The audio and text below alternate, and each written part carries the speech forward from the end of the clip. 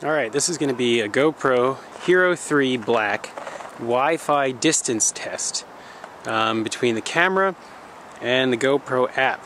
And I have an Android phone here, a Galaxy S3, and I also have an iPhone 5. And so what we're going to do is we're going to run some signal tests. We're going to position the GoPro here, and we're going to walk down the street, keeping line of sight to the camera until we go as far as we can uh, and then we'll be non-line of sight through some trees in between some houses and see if we can get that far. Both phones are fully charged. Uh, both phones are without cases, so they won't have any obstruction between the phone itself and the camera. Uh, the camera is charged, the camera's Wi-Fi is on, you can see the blue light.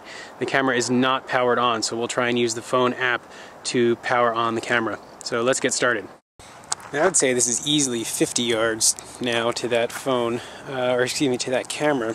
So we'll try again here. We're going to uh, launch the GoPro app on the Galaxy S3, see if we can get connected, then we'll check signal strength, connect and control, starting preview.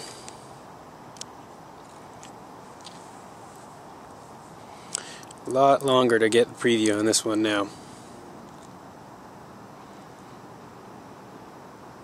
Noticeably longer. Let's pause this real quick. Let's check the signal strength from here.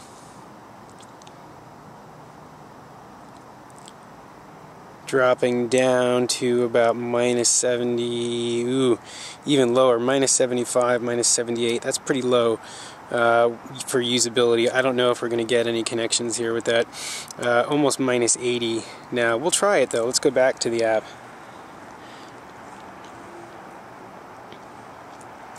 No preview. Let's turn preview off. Let's see if we can fire up the camera anyway. We'll listen for the tone.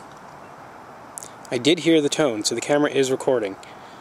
So no preview at 50 yards, but it does the power, the record button does work. Let's listen for the tones on the way on when we disconnect. I can hear them from here. So 50 yards away, still able to control, although preview uh, noticeably slower or non non-functional actually.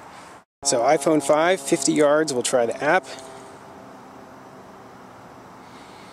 Connected to the camera, connected control, uh, see if we can pull a preview up. My guess is we're not going to be able to.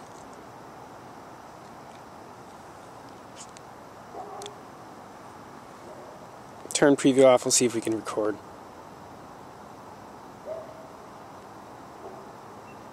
I heard the tone for the recording, now I'll stop. And I heard the tone for the ending. So both iPhone and Galaxy S3 work from about 50 yards. Alright, that fire hydrant is way off in the distance there, maybe a hundred yards away now.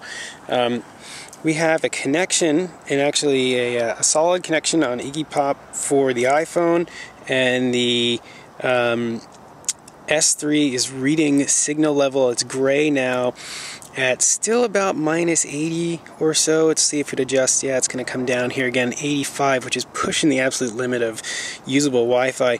We'll go ahead and uh, turn the S3 off and then try the iPhone again for the connection back using the GoPro app. So we'll fire up the app, connect and control. I'm going to guess we're not going to get. Oh, we have a preview from here, so there might have been interference actually uh, where the other location was. We'll start recording.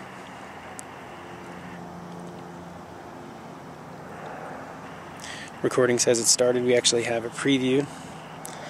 I don't think you can even see me down there way at the end of the street. street. We'll stop recording.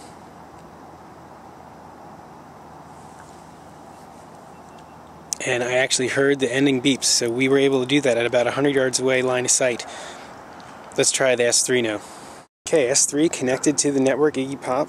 We'll fire up the GoPro app, see if we can get a preview on the S3 from here as well.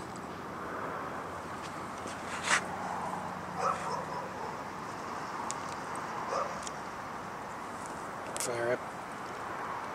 There we go, we have a preview from here as well, so there must have been some interference uh, from the other location.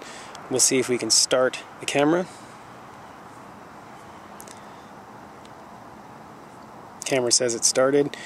No preview, uh, there we go, we do have a preview now here from 100 yards away, line of sight. We'll stop it. I hear the beep, so it did definitely stop recording. So S3 and iPhone both usable at 100 yards line of sight. The fire hydrant is around the bend. We've got our app with our signal here. The iPhone says it's connected um, to Pop G, and our signal strength on the Android, let's rotate it so we get a little bit more signal here, down to almost minus 90, actually running right at minus 90. So we'll see if we can, oh, the iPhone just dropped its connection. We'll see if we can go back uh, on the iPhone and see if we can connect again. Unable to join, so I think we might be at the limit here at about 100 yards non-line of sight. Um, let's see if the Android can get connected.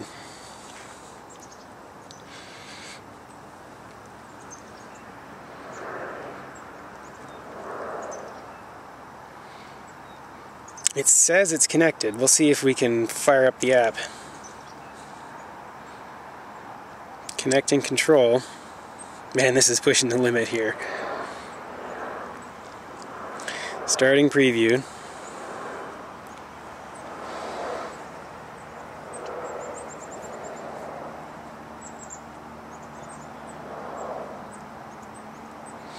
Don't think it's going to give us a preview here. We'll turn preview off. We'll see if we can at least record, control the camera. I have recording confirmation. There's no way to tell if it's actually doing this. I can try and listen, but it's far away and there's birds chirping around too.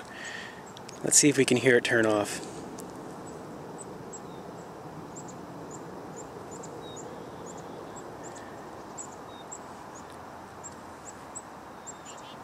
It's so far away I can't tell. I can't hear it.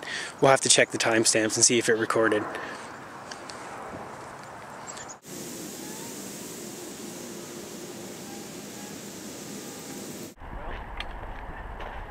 Looks like at 100 yards non-line of sight it started to record but it actually didn't stop recording because the red light's still on and I just walked up to the camera so hope you guys have enjoyed this test. We'll have to try and push it to the limit next time uh, to see if we can actually get further than 100 yards away line of sight and see how far this camera can really go. Uh, again, Android and iPhone both did pretty well. And uh, don't forget to rate, comment, and subscribe.